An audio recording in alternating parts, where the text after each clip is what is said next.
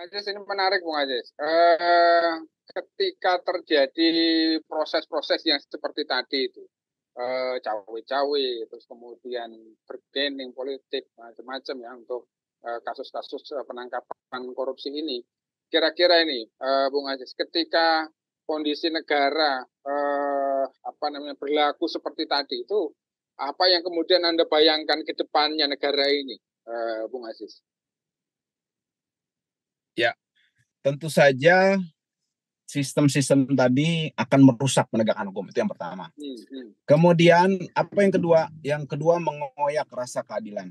Hmm, Terus bisa membunuh demokrasi Pancasila dan yang terjadi kemudian adalah ya adanya bangsa ini sampai pada titik rentan dari serangan perpecahan.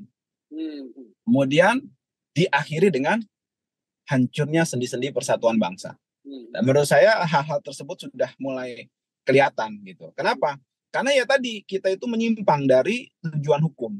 Sedikit nih, Gus. Tujuan hukum itu kan kalau menurut uh, kalau kita baru belajar hukum tuh, sarjana yeah. hukum baru masuk yeah. tuh, itu ada beberapa antara lain apa uh, ini menjamin kelangsungan keseimbangan dalam hubungan antara anggota masyarakat, menjamin kepastian hukum, mencegah setiap orang tidak melakukan eigen rating atau apa namanya hakim ya pengadilan ya kemudian juga menciptakan ketertiban dan keadilan hmm. mencapai ketertiban umum dan juga keadilan hmm. tapi ada satu nih ilmu baru nih hmm. hukum tujuannya adalah menggebuk pihak-pihak yang berseberangan dengan saya.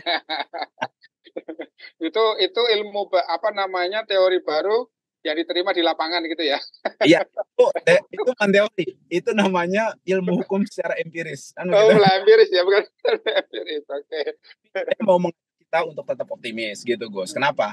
Sebenarnya ada yang menjadi kita uh, kalau kita berharap sama politisi tadi agak sulit karena bagaimanapun juga eh, apa namanya nuansa politik itu pasti akan ada. Hmm. Tapi sebenarnya siapa sih sebenarnya yang jadi garda terdepan harusnya di sini?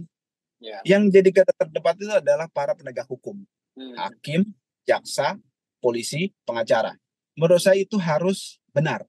Nah, hmm. saya mau mengakhiri kalau boleh, Gus, kalau nanti yeah. ini ada perlu dulu nih, jadi apa ada okay. perlu jadi kita uh, duluan nanti kalau ada pertanyaan. Okay. Saya mau mengakhiri dengan uh, sedikit cerita. Hmm. cerita hakim dan bangkai anjing. Dulu okay. ada mengubur bangkai anjing di, di kuburan kaum muslim. Kemudian orang-orang ngaduin ke hakim. Hakim nih ya. Hmm. Kemudian dihadapin ke penegak hukum. Kata hakim, kamu mengubur bangkai anjing ya di perkuburan muslimin? Iya, hmm. saya menunaikan wasiat untuk anjing itu. Kata dia, celaka kamu gitu kan. Terus kata dia laki-laki itu, uh, Mas Majelis Hakim, Pak Hakim, anjing itu juga mewasiatkan untuk memberi seribu dinar hmm. kepada Pak Hakim. Hmm. Lalu hakimnya akan bilang, kemudian hakimnya bilang, semoga Allah merahmati anjing yang telah mati. Orang heran, kok hakim begitu gitu kan? Yeah. Hakim apa? Janganlah heran, karena setelah ku selidiki, hakim anjing itu ternyata masih keturunan Ashabul Kahfi. Ashabul Kahfi. Nah, yang saya mau katakan adalah kalau hakim atau penegak hukum tadi empat tadi garda terdepan tadi dalam sistem hukum kita itu rusak hmm. selesai saja semuanya gitu jadi sebenarnya semua ada bisa harapan dikuatkan dalilnya gitu ya semua iya, bisa dalilnya gitu ya tadi itu kan bergerak harus pakai dalil, hmm. harus pakai pengacara, hmm. harus pakai polisi, harus pakai jaksa, hmm. harus pakai hakim. Bagaimana untuk memperkuat ini gitu loh? Dia nggak bisa, dia agak akan akan ber, kayak gini lah saya cawe-cawe karena ini kepentingan bangsa segala macam. Itu kan sebenarnya dasar. Hmm, dasar okay. dibuat oleh orang ahli. Ahli itu dalam arti dalam hukum itu ya tentu saja orang-orang yang menegakkan hukum hmm. yang memang punya kekuasaan punya kewenangan untuk menegakkan hukum. Sehingga dasarnya itu dipakai. Nah, ini kalau rusak selesai semua tadi. Harapan kita benahi yang tadi maka politisinya nanti akan akan ditangkapin semua gitu loh